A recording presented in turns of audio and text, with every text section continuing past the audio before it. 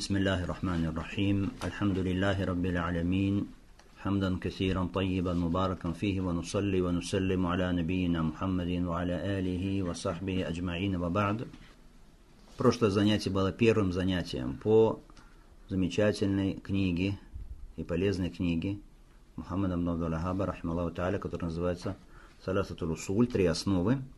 На прошлом занятии мы разобрали с вами достоинства таухида, почему мы начали изучение наша религии с изучения таухида. А мы разобрали с вами достоинства книги, именно этой трех основ, почему мы с нее начали изучение наше.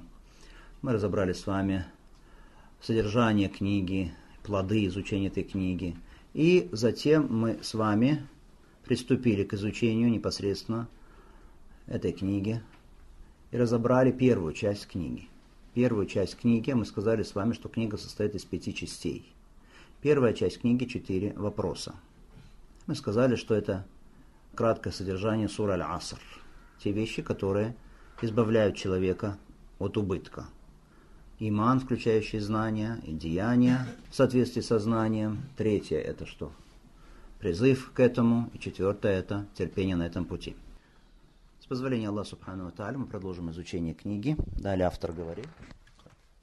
بسم الله والحمد لله والصلاة والسلام على رسول الله اعلم رحمك الله أنه يجب على كل مسلم ومسلمة تعلم ثلاث هذه المسائل والعمل بهن الأولى أن الله خلقنا ورزقنا ولم يتركنا هملا بل أرسل إلينا رسولا فمن أطاعه دخل الجنة ومن عصاه دخل النار والدليل قوله تعالى إنا أرسلنا إليكم رسولا شاهدا عليكم كما أرسلنا إلى فرعون رسولا فعصى فرعون الرسول فأخذناه أخذا وبيلا الثانية أن الله لا يرضى أن يشرك معه أحد في عبادته لا ملك مقرب ولا نبي مرسل والدليل قوله تعالى وأن المساجد لله فلا تدعوا مع الله أحدا الثالثة أن من أطاع الرسول ووحد الله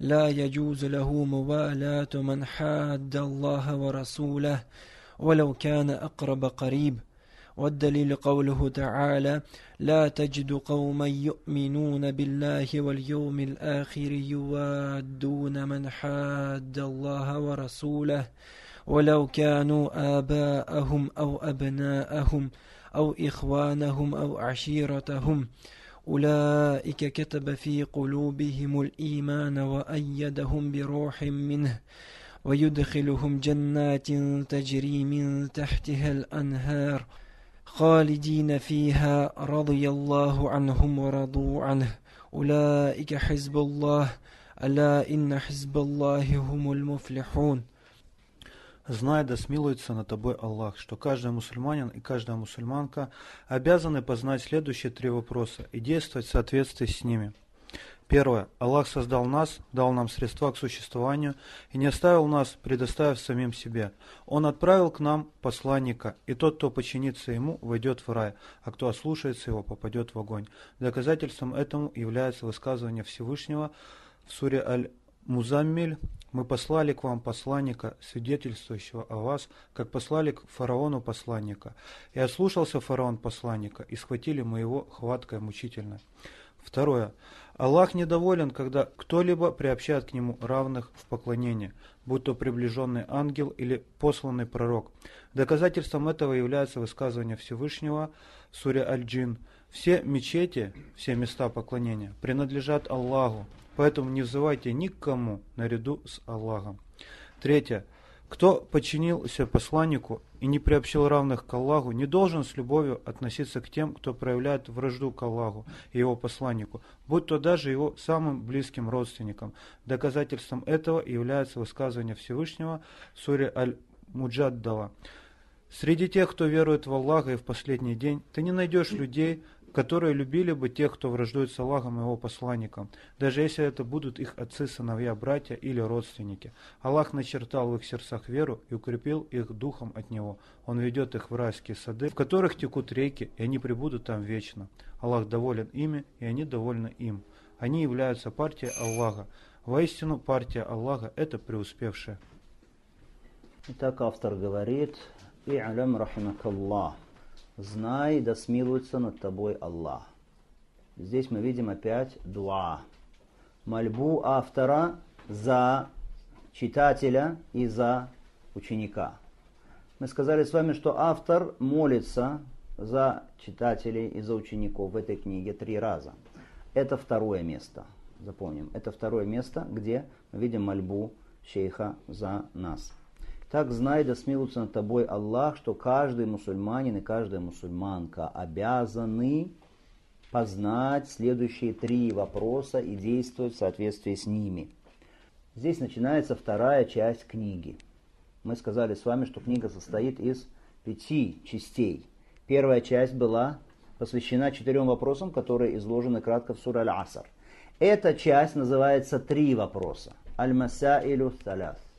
Аль-Масаилю Аль-Саляс. Три вопроса. Мы с вами ранее говорили, что нужно отличать три вопроса Аль-Масаилю Саляс от трех основ. От трех основ Салясу Турусуль. Это не одно и то же. Три основы Аль-Усулю Саляса – это что такое? Это вопросы могилы. Те вопросы, которые будут заданы человеку в могиле. А три вопроса Аль-Масаилю Саляса – это что? Три вопроса, которые упоминаются в этой части книги. Первый вопрос – это таухид ар-рубубия и таухид аль-асмау сифат. Второй вопрос – это таухид аль-улухия. Третий вопрос – это аль-бараату мина ширки ва ахлихи. Перевожу. Три вопроса. Первое – это таухид ар-рубубия, таухид аль-асмау сифат. то есть единственность Аллаха в господстве и единобожие, связанное с именами и атрибутами Аллаха, субхану та'аля. Это первый. Еще раз. Первый вопрос какой? Это единобожие, связанное с чем? С рубубе, с господством. И тавхида расмава сифа. Единобожие, связанное с чем? С именами и сифатами, атрибутами Аллаха, субхану та'аля. Это первый вопрос. Эти два вида таухида входят сюда, в первый вопрос. Второй вопрос – Таухид аль Единственность Аллаха Субхану Тааля в праве на поклонение рабов. То есть единобожие, связанное с чем? С божественностью, с поклонением. И третий вопрос. баратумина мина ширки вагли. Отречение от ширка, от многобожия и от последователей многобожия. Вот это вот есть три вопроса, которые разбираются в данной части книги. Автор, как мы сказали во второй раз, молится здесь за читателя, потому что он желает всех благ читателям и ученикам своим. И автор говорит, знай, да смеются над тобой Аллах, что каждый мусульманин и мусульманка. Почему? Автор подчеркивает, что это касается не только мужчин. Это касается женщин точно так же, как и мужчин. К сожалению, есть некоторое пренебрежение зачастую, что женщины не изучают религию и не изучают даже трех основ. Мужчины изучают, иногда доводят даже он своих, те, над кем смилостивился Аллах, иногда ничего не говорят. А мужчина обязан учить свою семью, обязан учить э, свою супругу и своих детей. Так это касается не только мужчин, это касается и женщин. Обязаны знать, что следующие три вопроса и поступать в соответствии с этими тремя вопросами. Мы сказали, что за вопросы. Первое это что? Таухид в чем? В господстве, в именах и атрибутах. Второе таухид в чем? Улюхия, то есть в божественности, в достопоклоняемости, в поклонении. Третье это что? Отречение от ширка и последователей ширка. Таухид. Что такое таухид? Когда изучаем религию, религиозные книги, когда доходит очередь до какого-то термина религиозного, как правило, сначала ученые упоминают значение этого слова в языке. То есть его языковое изначальное значение в арабском языке. Арабский язык был до неспослания Корана Мухаммаду саллаху салям, до прихода Мухаммада саллаху салям был арабский язык? Да, был. Слово было, было. Оно имело какое-то значение. Когда пришел ислам, это слово приобрело еще и другое значение какое – особое религиозное шариатское значение. Например, слово салат, салат, намаз. Было слово салат у арабов раньше, до того, как Аллах Субхану Тааля вменил через Мухаммада Салусалям нам совершение пятикратного намаза. Было слово салат? Было слово салат. У него было значение? Да, было значение. Какое значение? Дуа, просьба, мольба. Когда пришел шариат, пришел Куран, пришла сунна, это слово приобрело шариатское значение. Какое? Сала – это что? Вид поклонения Аллаха Субхану Ва Та'аля, который начинается с чего? Начинается с такбира, с такбира храм и заканчивается чем? Таслимом, то есть словами салам алейкум, Аллах, салам алейкум, Да, то есть особый вид поклонения Аллаха, Совершаем особым образом, начинается с чего? С такбира, заканчивается таслимом. Приобрело иное значение. Итак, есть языковое значение, есть какое? Шариатское значение. Понятно. Просто дальше, когда мы будем с вами говорить языковое значение, шариатское значение, чтобы никто не удивлялся и не задавал вопрос, как это так? Что значит языковое, что значит шариатское? Так, слово тавхид, его языковое значение. Что такое тавхид? Тавхид, слово тавхид, это отглагольное существительное, от глагола вахада. Отглагольное существительное что такое? По-арабски масдар. Отглагольное существительное по-арабски масдар от глагола вахада. Вахада делать что-то единым, единственным. По-арабски вахид это один. Хорошо? Вахид. Вахада делать что-то единым, единственным. А это от него от глагольное существительное. То есть делание чего-то или кого-то единственным.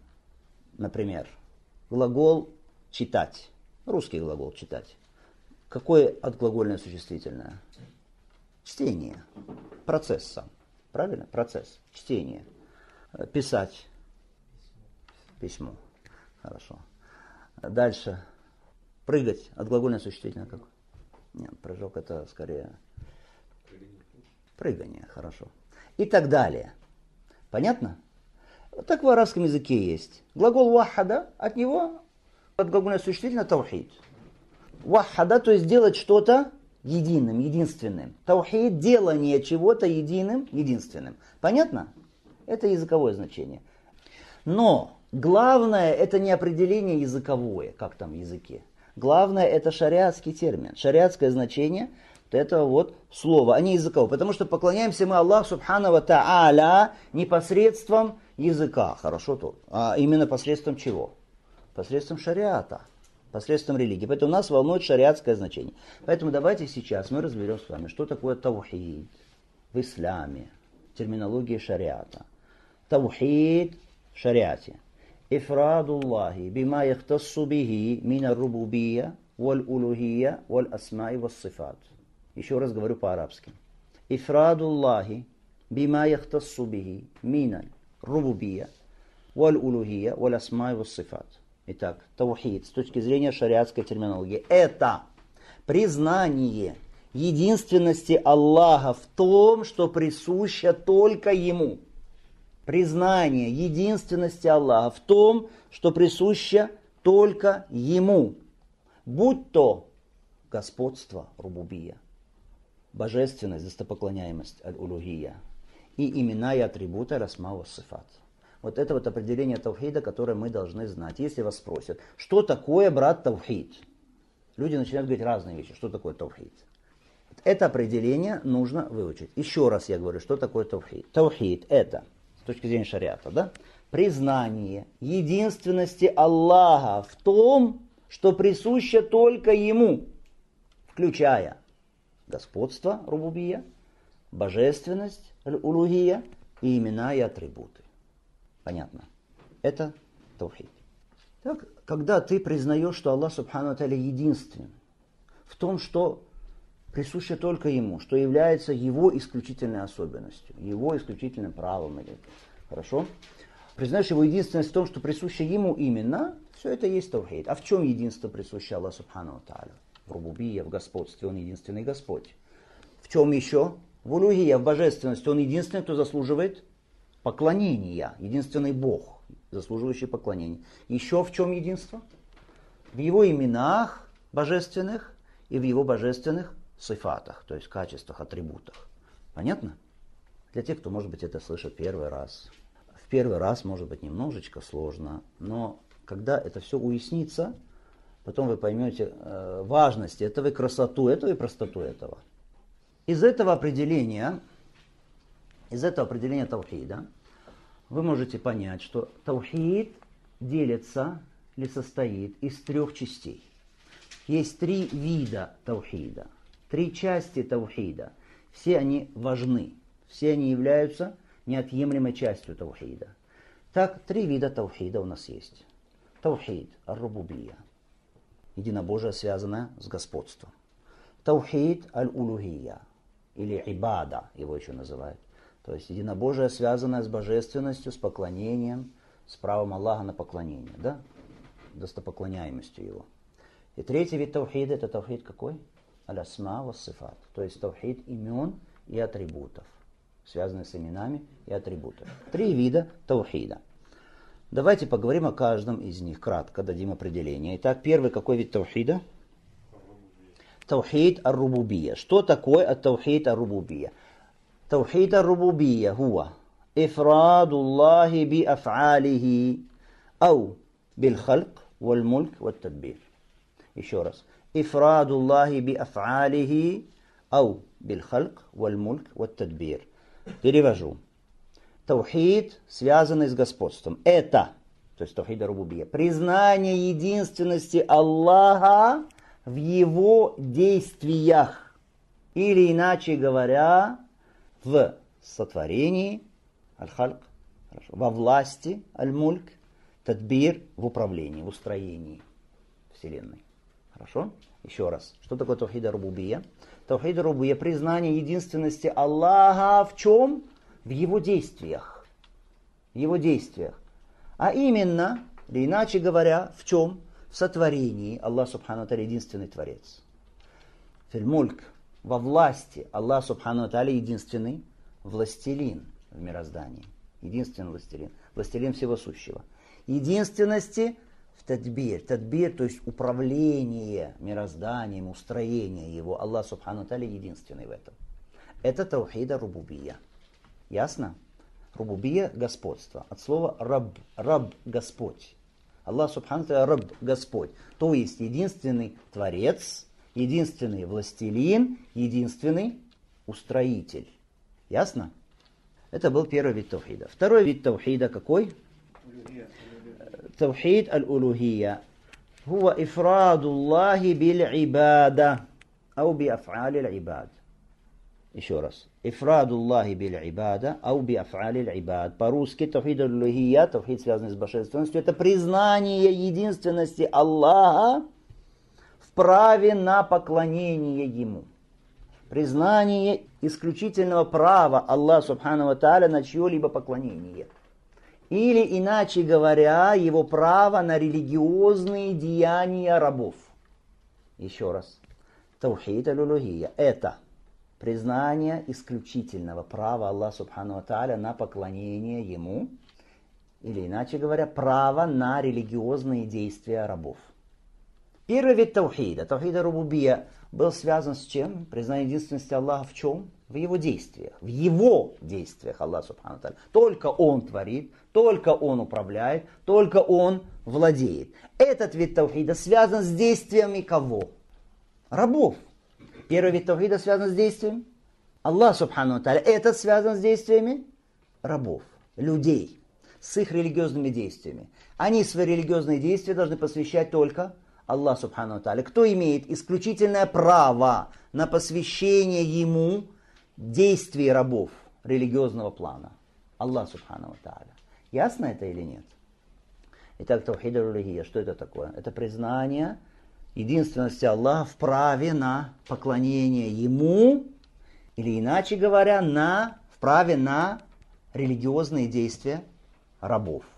Любое религиозное деяние человека должно быть посвящено только Аллах Субхану Аталя. Он единственный вправе на это деяние, на то, что посвящали ему эти деяния. Дальше, следующий вид тавхида какой? Тавхид аль-асмава сифат, то есть единобожие, связанное с именами и атрибутами. Аль-асма это множественное число слова исм, то есть имя, имена. А сифат, сифат, то есть атрибуты, да, Аллах Субхану Аталя. Что такое тавхид аль-асмава сифат? Хуа ифрадуллахи бима самма وَوَصَفَ بِهِ نَفْسَهُ فِي كِتَابِ وَعَلَى لِسَانِ رَسُولِ Это признание единственности Аллаха в обладании теми именами и теми атрибутами, которыми Он охарактеризовал себя в своей книге или устами своего посланника.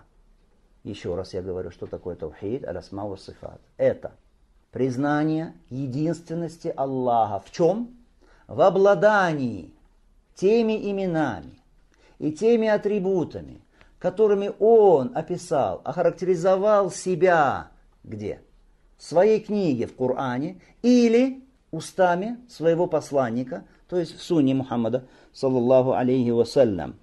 И выражается этот таухид, таухид расмава сифат. В чем? Как, как его выразить?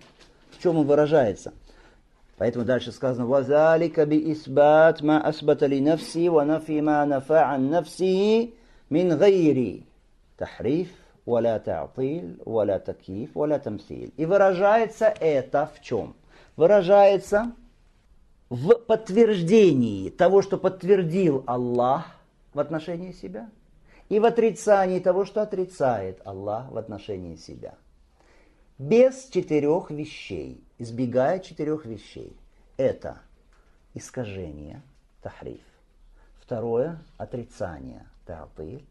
Третье – вопроса «как?», то есть придание образа какого-то определенного в сознании твоем.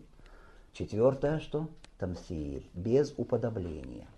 Еще раз говорю, сначала, когда это слышится первый раз, произносится первый раз, кажется сложно и как-то, может быть, тяжело ложиться, мы будем повторять это много-много-много раз, иншалла, из книги в книгу, иншалла, при изучении книг. И это уложится, иншалла, очень хорошо. Я еще раз повторяю, что такое тавхид аль-асма сифат Это признание единственности Аллаха в обладании именами и атрибутами, которыми Он описал себя в своей книге или устами своего посланника. И выражается Он в чем – подтверждении того, что подтвердил Аллах в отношении себя, в отрицании того, что отрицает Аллах в отношении себя, с избеганием обязательным четырех вещей. Каких? Тахриф, искажение. Второе, отрицание, таатыль по-арабски. Третье, такиф, вопрос как, каким образом. Четвертое, тамсиль, уподобление атрибутов Аллаха атрибутам творений такьиф, от слова кейф, как. Это какой тавхид? Тавхид аль-асма ва сифат. Итак, тавхид аль-асма сифат, мы сказали, это признание единственности Аллаха в обладании именами и атрибутами, которыми он написал себя в своей книге или устами своего посланника, и выражается он в подтверждении того, что подтвердил Аллах в отношении себя, это по-арабски «исбат», отрицание того, что отрицает Аллах в отношении себя, по-арабски «нафи», без четырех вещей, избегая четыре вещи, это искажение, когда люди говорят, например, рука Аллаха – это э, мощь, это могущество, это искажение. Без отрицания, без отрицания, когда люди отрицают какой-то из атрибутов Аллаха Субхану Тааля, без чего? Вопроса «как?», когда люди говорят «как это Аллах совершил истива вознесение над престолом?» «Как?» Каков образ этого? Хорошо? Без вопроса «как?» Потому что образ этого непостижим для человека. Образ атрибутов Аллаха непостижим для человека. Так же, как сама сущность Аллаха непостижим для человека. Аллаха нельзя представить, нельзя представить себе его атрибуты. Хорошо? Без вопроса «как» и без чего? Без уподобления, когда кто-то берет и уподобляет Аллаха творением и говорит слух Аллаха как слух творений, или длань, рука Аллаха как рука творений и так далее. Без уподобления потому что нет никого подобного ему. Это таухид аль асмава сифат. Сейчас мы с вами только сказали в общем определение, в общем, что такое. Разъяснение этого, иншаллах та'аля, будет далее при изучении последующих книг. Вот это определение, которое мы дали с вами тому, что такое таухид аль асмава сифат, единобожие связано с именами и атрибутами, дает нам понять очень важное правило. Какое? Имена и атрибуты Аллаха – они таукифия. Что такое? То есть здесь нужно придерживаться строго-строго только того, что сказано в Коране и Сунне. Еще раз, в этом вопросе.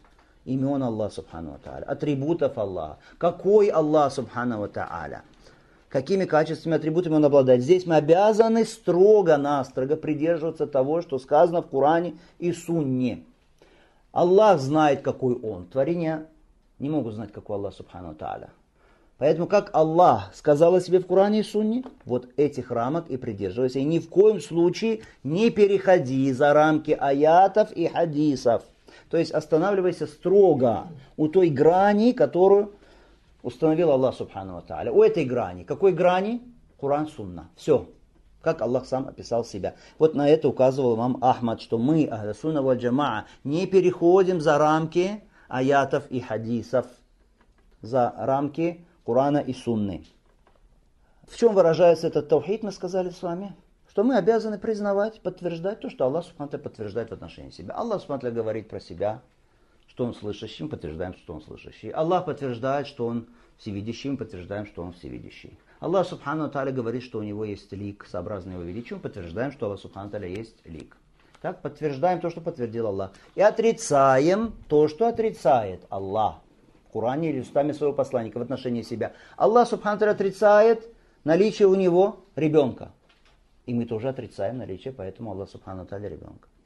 Аллах Субхану таля отрицает в отношении себя зульм, то есть несправедливость. И мы тоже отрицаем в отношении Аллаха Субхану таля зулем, несправедливость. Аллах Субхану таля отрицает в отношении себя сон и дремоту. Кстати, правильно дремота все-таки по изысканию отрицает в отношении себя, это мы тоже отрицаем. Хорошо? Здесь одна тонкость, очень важная. Внимательно. Если Аллах Субхану Таля отрицает что-то в отношении себя, и отрицает посланник Аллаха что-то в отношении Аллаха Субхану Таля, мы тоже отрицаем. Но здесь очень важно, обязательно, когда мы отрицаем, мы подтверждаем в отношении Аллаха то, что обратно вот этому отрицаемому в его совершенном виде. Мы с вами говорили об этом, когда изучали Арбанина Навовые. То есть отрицание, когда мы отрицаем что-то в отношении Аллаха, мы не просто отрицаем. Отрицая, мы что делаем? Подтверждаем обратное. Причем в его совершенном виде. Если мы отрицаем в отношении Аллаха Субхану Таля вульм, несправедливость, это просто отрицание. Просто отрицание не будет совершенством, не будет похвалой. Мы говорили с вами, если мы отрицаем, что эта стена делает несправедливость. Это похвала в адрес этой стены? Похвала? Нет, не похвала, потому что она не может делать ничего. Если какой-то слабый человек, ни на что не способный, отрицаем в отношении его зулем, что он поступает несправедливо, это похвала тоже не похвала. Хорошо? Поэтому просто отрицание это не похвала и несовершенство. Отрицание обязательно с утверждением чего обратного. Аллах отрицаем в отношении его потому что утверждаем в отношении него что? Абсолютную, совершенную справедливость. Да? Адль. Ясно? Отрицаем в отношении Аллаха Субхану Аталя сон и дремоту. Просто отрицаем сон и дремоту. Стена тоже не спит это. Ну и что? А? Нет, утверждая обратное в его совершенстве. А именно что? Отрицая сон. Что мы утверждаем? Совершенную жизнь что Аллах Субхану Талин обладает совершенной жизнью, совершенным вседержительством, совершенным существованием. Хорошо? Это правило здесь. Здесь очень важно подчеркнуть одну вещь. Все ученики, искатели знания, они должны обращаться к ученым раббанин. Помните, мы говорили с вами, набожные ученые, наставники, духовные, которые обучают людей, что сначала основам знания, прежде сложного знания. Итак, ученик, он должен обращаться всегда к уляма, к ученым раббани, набожным наставникам, имамам. Согласно аяту и суру женщин, которые с вами приводили в прошлый раз. Поэтому ученику нужно запоминать, учить те определения, которые дают ученые. Потом, когда я вам дал эти определения, это не значит, что Здесь есть свобода, кто как хочет, так и говорит. А я решил такое дать определение, а я решил дать другое определение. Нет. Ученик должен придерживаться, учить те определения, которые дают ученые. Например, если тебя спросят, что такое тагут? Что такое тагут? Скажи, как сказал Ибн Каим, Тааля. Дай то определение, которое дал, что набожный ученый. Он что сказал, это все в отношении чего раб переходит, установлены для него границы, будь то поклонение или подчинение или следование. Кто дал это определение? Минулькаим, и ты тоже говори. Итак, ученику нужно что, пока он учится, учить, запоминать, приводить те определения, которые дали уляма, ученые, набожные. Когда ты станешь ученым, иншаллах, станешь алим, укрепишься в знании, станешь ученым, вот тогда уже делай, что хочешь. Вот тогда уже можешь дать свое какое-то определение. А пока что, пока придерживайся тех определений, которые дали ученые-предшественники – Понятно? Есть какие-то вопросы до этого момента? Нет вопросов. Дальше разбираем теперь вот эти вот три вопроса. Первый вопрос был какой? Тавхид, арубубия, господство и имен и атрибутов. Это был первый вопрос. Что говорит автор, рахималлаху та'аля? Он говорит, Аллах создал нас, дал нам средства к существованию и не оставил нас, предоставив самим себе – он отправил к нам посланника, и тот, кто подчинится ему, войдет в рай, а тот, кто ослушается его, войдет в ад, в адский огонь. И доказательство этому, довод на это, слова Всевышнего, «Инна арсальна алейкум расулан шахидан алейкум». Мы послали к вам посланника в качестве свидетеля над вами.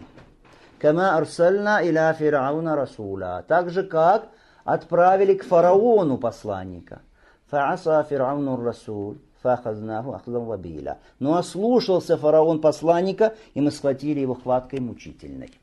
Так это то, что автор сказал про первый вопрос. Что он говорит? Аллах создал нас, дал нам средства к существованию. Это все, о чем речь сейчас идет. О каком таухиде? О таухиде рубубия, таухиде господства. Что Аллах, Он есть единственный Господь, Араб. Он Создатель единственный, Он единственный наделитель, Разик. Он единственный управляющий всем, Он единственный устроитель, Он, который оживляет, Он, который умершляет. Если так, если Он единственный Господь, то есть если Он единственный Творец, Субхану Если Он единственный, кто наделяет, и кто управляет, и кто владеет, и кто оживляет и умершляет, значит, он единственный, кто заслуживает и чего? Поклонения ему. Это правило очень важно. Очень часто в Коране Аллах Субхану Тааля приводит в качестве довода, аргумента вот этим вот мушрикам, которые поклоняются наряду с Аллахом кому-то еще, взывают наряду с Аллахом кому-то еще – посвящают обеты жертвоприношения кому-то наряду с Аллахом Субхантер. Аллах приводит им в качестве аргумента, этим мушрикам, в качестве довода, что? Если вы признаете Таухита Рубубия, что Аллах, Он единственный Господь, Творец, Создатель, тогда вы обязаны также признать и Таухита Рулюхия, что Аллах, Субхану Таля, Он единственный, кто заслуживает поклонения.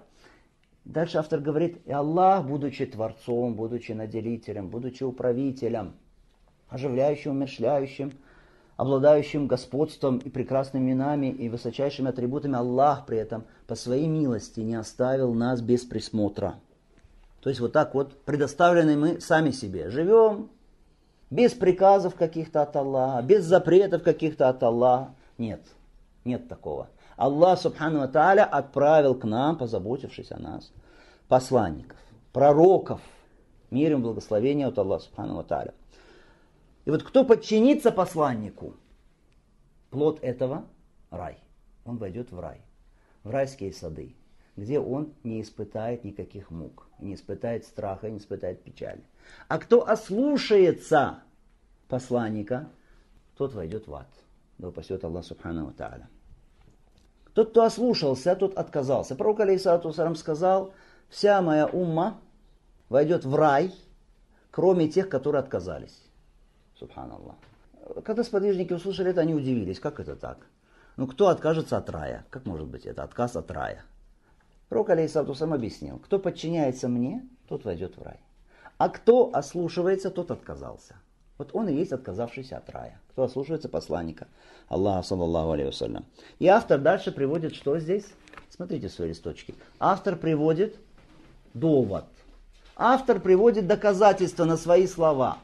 Когда он сказал, что Аллах Субхану Тааля создал нас и наделил, но не оставил нас предоставленными самим себе, отправил нам посланника, автор приводит далиль. Как всегда, мы говорили с вами, обыкновение автора. Когда он что-то говорит, он обязательно подтверждает свои слова доводом.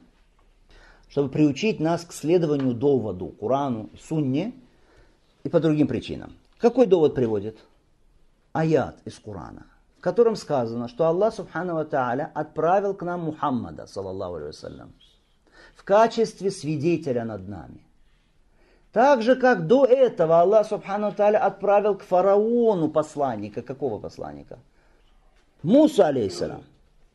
Муса, алейсалам, передал фараону послание Аллаха Субхану Таля, но фараон и его народ ослушались посланника, не подчинились посланнику, и тогда схватили мы его, сказано, мучительной хваткой, то есть после уведомления – После предъявления довода, после этого только Аллах Субхану Аталя схватил фараона и его народ и подверг их мучительному наказанию, мучительной каре. وَمَا كُنَّ مُعَذِّبِينَ حَتَّى نَبْعَثَ И никого мы не наказывали, пока не посылали посланника. То есть пока не приходил от Аллаха довод. Через посланника Аллах никого не наказывал. Это очень важно. Фараона просто так Аллах Субхану взял и наказал? Нет. После того, как он был предупрежден. Пришло к нему уведомление только после этого. Русулану Баширину Мунзирина ли Аллах якуна наси аля Аллахи худжатун бада русуль. Посланников, говорит Аллах, отправили посланников. Мубаширина Мунзирина, благовествующими, то есть передающими благую весть, и увещевающими, то есть предупреждающими от наказания. Ли Аллах якуна наси аля Аллахи худжатун бада русуль. Чтобы не осталось у людей оправдания перед Аллахом, довода против Аллаха, после прихода посланников. Пришли посланники, все передали, и у тебя не осталось довода. Итак, в этом вопросе, в первом вопросе, что кратко изложено? Таухид, Ар-Рубубия и Аль-Асма Вассифат. Таухид, господство, имен и атрибутов Аллаха Субхана Ва Та'аля. Второй вопрос. О чем? Второй вопрос. Таухид аль то есть единственность Аллаха Субхана Ва Та'аля в чем? В праве на поклонение ему, или иначе на религиозные действия рабов. Что говорит автор? Аллах недоволен. Это слова автора, смотрите, у вас там написано. Аллах недоволен, когда кто-либо приобщает к нему равных в поклонении. Будь то приближенный ангел или отправленный пророк, или посланный пророк. Так Аллах недоволен, когда наряду с ним кому-то еще поклоняются когда кого-то предают сотоварищи ему в поклонении, когда предают равных ему в поклонении. Хоть это приближенный ангел, сам Джибриль или Микаиль или Исрафиль. Если даже человек поклоняется Джибрилю или Исрафилю или Микаилю, Аллах Субхану недоволен этим. Или это будет посланный пророк – Пусть это будет самый лучший из пророков посланников Мухаммад, саллаху салям. Если кто-то поклоняется Мухаммаду, саллаху салям, Аллах недоволен этим. Итак, Аллах недоволен чем? Ширком. Ширком. Кого бы ни приобщали к нему при этом в поклонении. Сказано, Аллах недоволен, когда приобщают к нему кого-то. Будь то ангелы, будь то праведники, будь то пророки, будь то правдивейшие, будь то шахиды, будь то джины, кто бы ни был, поклоняться никому наряду с Аллахом нельзя, Аллах этим недоволен. И дальше автор что? Приводит тоже доказательства на это предложение, на эти свои слова. На второй вопрос. Второй вопрос, то есть Тафриду Рулихия. Какое доказательство приводит автор, рахмаллах та'аля, из суры Аль-Джин? Из суры Аль-Джин. Это надо запомнить, иншаллаху та'аля, по-арабски. Даже те, которые не учат по-арабски, я прошу, постарайтесь запомнить по-арабски. Это всего несколько слов. وَأَنَّ الْمَسَاجِدَ لِلَّهِ فَلَا تَدْعُوا مَعَ اللَّهِ أَحَدًا и поистине масаджид, мечети принадлежат Аллаху, фаля тад'у Аллахи ахада. Так никому не поклоняйтесь, не взывайте наряду с Аллахом. Посмотрите, وأن المساجد لله поистине мечети принадлежат Аллаху فلا تدعوا مع ахада. не обращайтесь с мольбами с поклонением никому кроме Аллаха ахада арабское слово ахада ахад это что Куль ху Аллаху ахад. Ахад это что? Скажи, он Аллах единственный. Ахад это один, единственный. Так, слово ахада здесь. Немножко мы коснемся арабского языка. В арабском языке слова бывают в определенном состоянии и неопределенном состоянии. Неопределенное состояние накера по-арабски, определенное состояние марифа. Что это значит? Например, у нас есть книга. Книга. По-арабски как книга? Китаб. Да? Без артикля Эль это в неопределенном состоянии, то есть какая-то неизвестная книга. Когда «аль» добавляется, становится «аль-китаб», тогда уже речь идет о чем-то определенном, о какой-то определенной книге. Так вот здесь слово «ахада», смотрите, «ахад», оно с артиклем «аль». «Аль-ахад» сказано. Нет, «ахад» в неопределенном состоянии, правильно стоит? Без артикля. Вот это правило, что если какое-то слово стоит в таком неопределенном состоянии, без артикля «аль», в каком-то предложении, где есть запрет, то это слово дает значение всеобщности, всеохватности. «Фаля тад'у Аллахи ахада» «Не взывайте наряду с Аллахом ахада» Без определенного артикля. В каком контексте? Запрет. «Ля тад'у» Правильно? Запрещает Аллах Субхану. Дает, значит, слово ахада какое значение? Всеобщности. Значит, любой, кто кроме Аллаха Субхану Тааля, нельзя поклоняться ему. И когда кто-то, кто взывает пророку, алейхиссалату возле его могилы, когда ему говоришь, нельзя, это ширк, он говорит, ширк это когда идолам поклоняются. А я прошу у самого посланника Аллаха, говорит он. Или идет на могилу какому-то святому и говорит, все эти запреты на ширк это касались э, идолов, камней, которым поклонялись мужики. А я тут святому человеку пришел, у него попросить. Мы скажем, фаля тадру, не взывай, мааллахи, наряду с Аллахом, ахада, неопределенное состояние в контексте запрета дает значение всеобщности. Никому, значит. И нет никакого исключения помимо Аллаха. Нет исключения. Ни ангелы, ни пророки, ни джинны, ни праведники, ни святые, ничто. Ни солнце, ни луна. Понятно? Это очень важно. Фаля тад'у ахада. Дальше сказано, все мечети принадлежат Аллаху. Что значит все мечети принадлежат Аллаху? Аль-Масаджид. Аль-Масаджид. Мечети. Множественное число слова масджид. Масджид. Три значения есть у этого слова, о котором я спрошу, иншаллах та'аля. Масаджид. Либо подразумевается мечеть, то есть возведенная мечеть. Здание для поклонения Аллаху Субхану когда возводятся мечети. То есть вот эти вот возведенные мечети, возведенные для поклонения в них. Для кого они возведены? Для поклонения в них кому? пророку, ангелам. Нет. Только Аллаху Субхану Тааля. Ванна аль-масаджида Мечети принадлежат Аллаху. Только их возвели для того, чтобы в них поклонялись только Аллаху. Это первое значение слова масаджид. Какое? Вот эти вот возведенные мечети, в которых поклоняются люди, здания.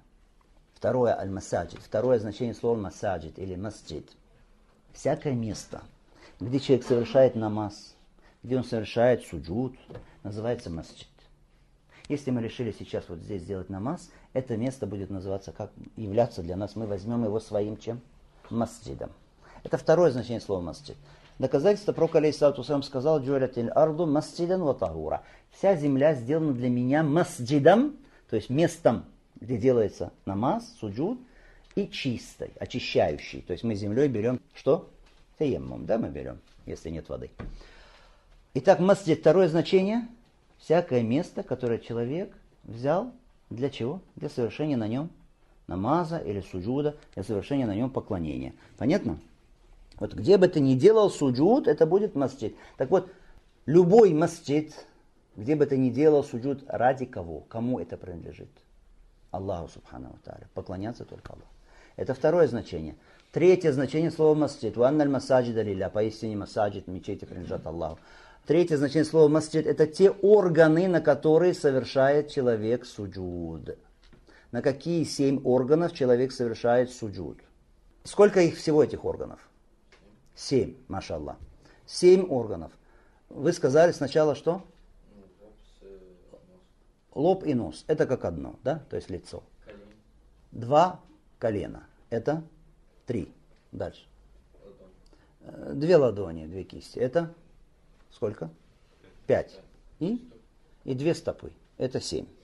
Так, эти органы, на которые осуществляется земной поклон, называются тоже масаджид. Масджид.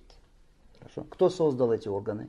Кто даровал их тебе? Аллах Субхану Таля. Поэтому нельзя использовать эти органы для суджуда, для поклона не Аллаху Субхану Таля, а кому-то другому. Нельзя. Так, этот вопрос, второй вопрос вкратце, это какой вопрос? Вопрос Таухида Лулухия то есть единобожие в чем? В поклонении. Поэтому его называют еще таухид аль-ибада, то есть таухид в поклонении, ибада.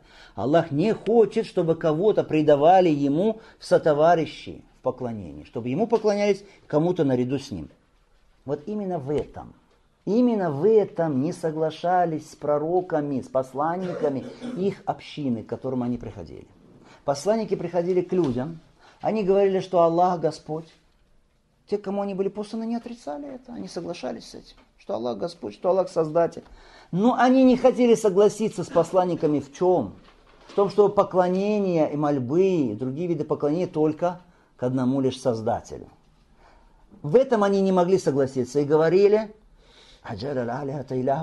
что многочисленные объекты поклонения, многочисленных богов, он свел к поклонению одному – они признавали, что Аллах Субхану Тааля, Он Творец, Создатель, что все зависит от Аллаха, но при этом они кому-то взывали наряду с Аллахом, кому-то поклонялись наряду с Аллахом Субхану Именно в этом они соглашались с пророками. Именно из-за этого пункта, вот из-за этого второго вопроса шла борьба между посланниками и теми мушриками, теми общинами, которым они были посланы. Они признавали господство Аллаха Субхану Тааля, даже они поклонялись Аллаху Субхану Тааля.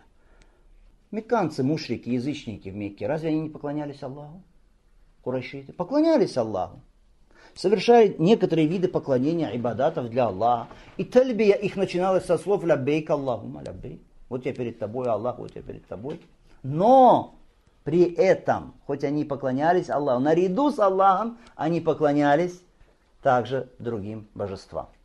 Поклонялись святым, поклонялись джинам, поклонялись ангелам, поклонялись идолам и так далее. Хорошо? То есть предавали Аллах Субхану Таля со товарищей в поклонении, поэтому пророк Алейсалату Салам боролся с ними. Боролся из-за ля иляха илля и говорил, говорите люди ля иляха илля и тогда вы спасетесь. То есть отвергните поклонение кому-то, кроме Аллаха. Так это был второй вопрос. О чем был второй вопрос? Тавхида Рубахия. Третий вопрос. Сказано здесь, автор говорит, кто подчинился посланнику и не приобщал Аллаху равных, это у нас что? Кто подчинился посланнику, это в каком вопросе было у нас? В первом вопросе, помните, Аллах создал нас, наделил нас, не оставил без предоставления самим себя, отправил к нам посланника, кто подчинился им, войдет в рай, кто ослушался, войдет в ад. Итак, кто подчинился посланнику? То есть первый вопрос он сделал, молодец. Живет по первому вопросу, притворил его и не приобщал равных к Аллаху. Это что, какой таухид? Второй. Таухид аль Второй вопрос. Первый, второй вопрос, машаллах. Выучил и действует по нему человек. Машаллах. Все. Но этого недостаточно. Третье должно быть. Не должен с любовью относиться к тем, кто проявляет вражду. К Аллаху, его посланнику. Не должен с любовью относиться к тем, кто проявляет вражду. К Аллаху, его посланнику. Будь то даже будь то даже его самым близким родственником.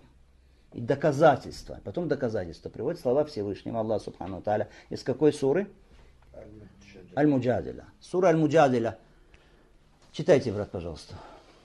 Среди тех, кто верует в Аллаха и в последний день, ты не найдешь людей, которые любили бы тех, кто враждует с Аллахом и его посланником, даже если это будут их отцы, сыновья, братья или родственники. Аллах начертал в их сердцах веру и укрепил их духом от Него. Он ведет их в райские сады, в которых текут реки, и они пребудут там вечно. Аллах доволен ими, и они довольны им. Они являются партией Аллаха, воистину партия Аллаха – это преуспевшие.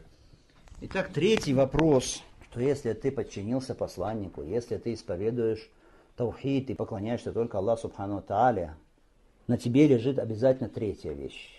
Без нее никак. Третья вещь – это бараату мина ширки вали, отречение от ширка, от многобожия и от последователей многобожия, от поборников многобожия. Ты должен отречься от них.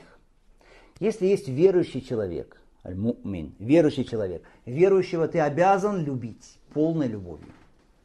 Верующего человека ты обязан любить полной любовью. Неверующего человека отвергающего Аллаха, отвергающего единобожие, отвергающего Коран, отвергающего посланника, неверующего человека, ты не должен с любовью относиться к тем, кто проявляет вражду к Аллаху и его посланнику. Ради Аллаха Субхану Тааля. Ради Аллаха Субхану Тааля. Не ради каких-то личных вопросов. Ради Аллаха Субхану Тааля. Остается третья категория людей – Верующий, понятно, неверующий, понятно, грешный. Грешный, но мусульманин. Грешный мусульманин, фасик. Как быть с ним? Его мы любим за его веру и, наоборот, ненавидим за его грехи, за его нечестие. Это отношение к нему. Понятно? Грешника, мусульманина, но грешного, нечестивого, мы любим его за что? За то, что в нем есть из имана, из ислама, за это любим. И ненавидим его за что? За его грехи. Так, в первом случае что? Полная любовь. Во втором случае что? Ненависть и отречение. В третьем случае что? Любовь за веру и ненависть за что? За грехи. Так отречение Альбара это третий вопрос. Очень важный вопрос, на самом деле, о котором много говорит Аллах Субхану Тааля. Вопрос, который нужно правильно понять. Вопрос, в котором очень многие заблуждаются, делают неправильные выводы.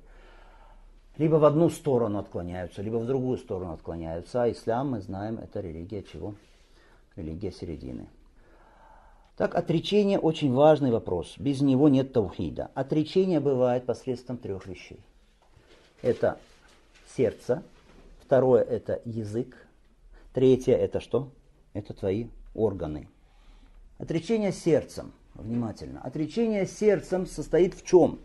В том, что ты не любишь тех, которые враждуют с Аллахом и его посланником, которые отвергают Аллаха единобожие. То есть не любишь неверующих, не любишь неверующих, ненавидишь. Ты ненавидишь обряды различные их, различные празднества, различные какие-то церемонии их и религиозные традиции, связанные с многобожием и так далее. Это ты все ненавидишь. Их ересь, их многобожие, проявление многобожия, обряды, ты все это что ненавидишь. Это чем? Сердцем. Второе, чем отречение выражается? Чем? Языком. Языком ты говоришь об этом. Говоришь, «Инна нибарами матабудун». Я отрекаюсь от того, чему вы поклоняетесь, кроме Аллаха Субхану Тааля. Или говоришь, «Ля абуду матабуду». Я не поклоняюсь тому, чему вы поклоняетесь. Говоришь, «Лакум динукум валиядин». Вам ваша религия, мне моя. Это ты объявляешь чем? Языком, устами. Понятно? Третье – отречение посредством, теперь мы сказали чего? Органов. Что это значит? Это значит, что ты не участвуешь в их религиозных обрядах языческих. Ты не участвуешь в их празднествах, ты не участвуешь в их ереси. Отдаляешься от этого. Ты не носишь присущую им именно как специфическую их, специфическую одежду. Не носишь. Ты не смотришь на них восторженно. Потому что Ибрагим, Ханиф, Халиль Аллаха, возлюбленный Аллаха, что он сказал, обращаясь к Аллаху Субхану Ва Та'аля? «Ваджнубни вабания набудрасна».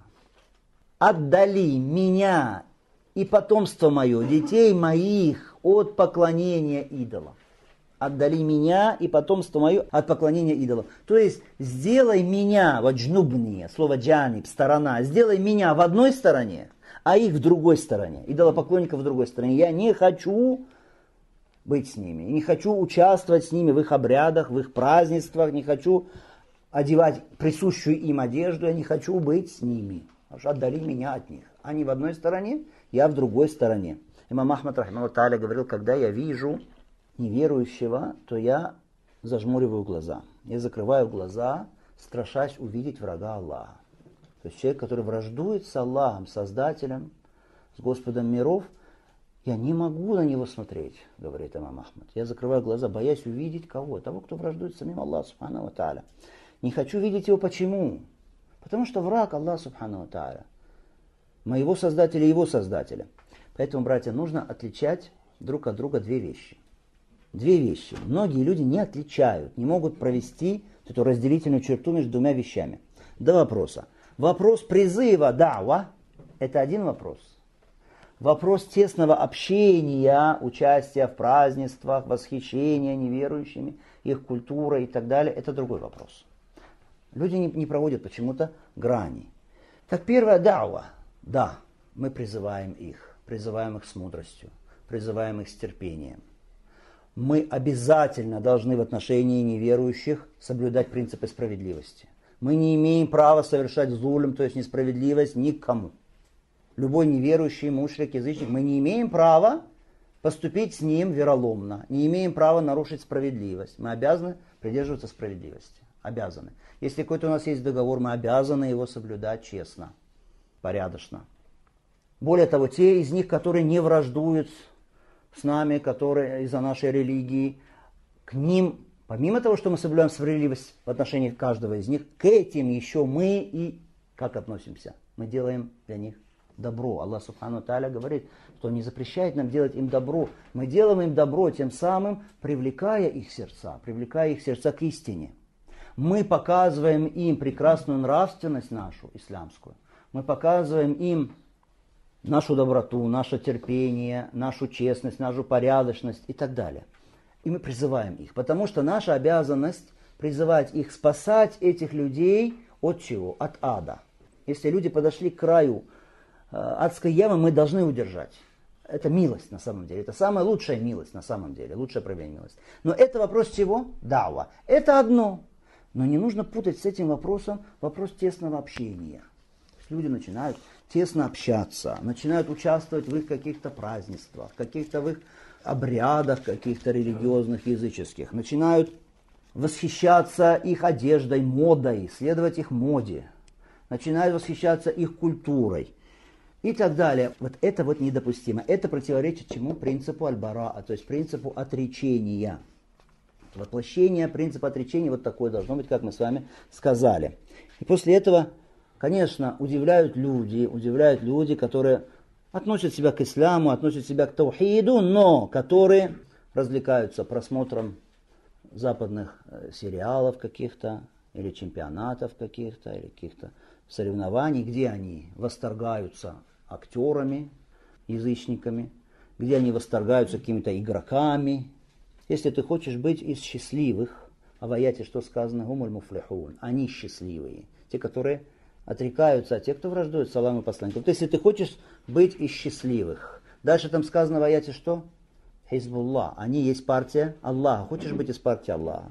Дальше, что сказано в аяте, Аллах доволен ими, они довольны Аллахом. Хочешь быть из тех, кем доволен Аллах, тогда ты должен воплощать вот этот принцип отречения, чем сердцем, от ширка, от многобожия и приспешников его, сердцем, языком и органами сожалению, это болезнь у сегодня. Спрашиваешь человека имя сподвижника, он не знает имя сподвижника. Зато спросишь его э, имя какого-то актера, или какого-то певца, или какого-то игрока, который гоняет целый день за мячом, люди знают.